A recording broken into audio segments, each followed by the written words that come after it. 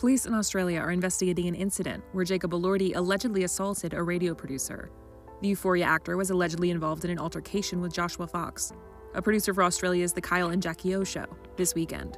According to Fox, who shared his account on the radio show on Monday, he claimed to have approached the Saltburn star and two friends outside of a hotel and jokingly asked the actor for his bathwater to give to radio host Jackie O, all while recording the interaction. Fox claimed Elordi asked him not to record him, and he obliged, but claimed that the actor then, quote, kind of gets up in my face and urged him to delete the video, as the radio producer is, quote, backed against this wall.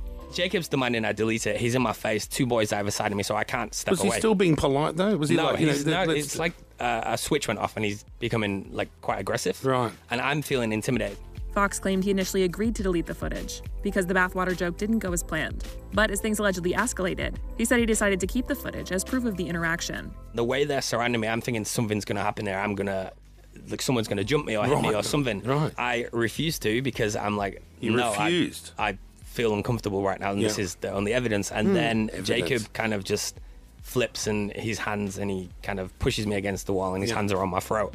The New South Wales Police Force told NBC News in a statement officers attached to Eastern Beaches Police Area Command are investigating after a man was allegedly assaulted outside a hotel in Sydney's eastern suburbs. Police were told about 3:30 p.m. on Saturday, February 3, 2024. A 32-year-old man was allegedly assaulted by a 26-year-old man. The man did not sustain any injuries. Inquiries into the incident is continuing.